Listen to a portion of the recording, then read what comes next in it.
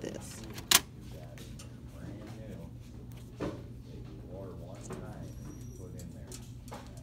I like that. You like that too? Okay. Well, then I guess it's yours.